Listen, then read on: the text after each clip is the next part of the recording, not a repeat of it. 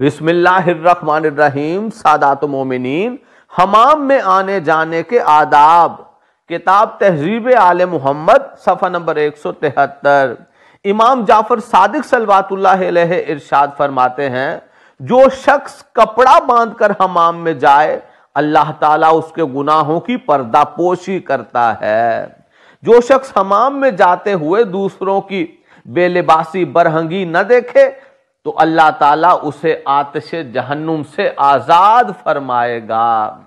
रसूल खुदा सल्लल्लाहु अलैहि वसल्लम ने जेर आसमान नंगे नहाने से और नहरों में, नदियों में नंगे दाखिल होने से मना फरमाया है। और यह भी फरमाया कि नहरों में पानी के फरिश्ते होते हैं, इसलिए हमाम में नंगे जाने की ममाने अट फरमाई है, मना फरमाया है।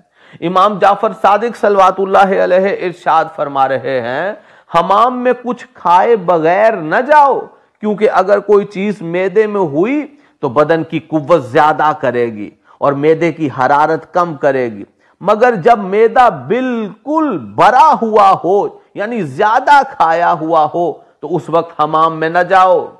जनाब अमीर मोमिन मौला इमाम अली सलवातुल्लाह इरशाद फरमाते हैं जब हमाम से निकल आने के बाद कोई बरादिर मोमिन तुमसे ये कहे, खुदा करे तुम्हारा हमाम और पसीना लेना मुबारक हो तो तुम उसके जवाब में यूँ कहो, खुदा तुम्हारे दिल को भी तरोताजा रखे। एक और रिवायत में इमाम ने फरमाया, जो शख्स हमाम से निकले, लोगों को उसे यूँ मुबारकबाद देनी चाहिए, यूँ कहना चाहिए खुदा तुम्हारे गुस्ल को बातनी पाकिजगी करार दे और उसे जवाब में यूँ कहना चाहिए कि खुदा तुमको भी गुनाहों से पाको पाकिजा करे।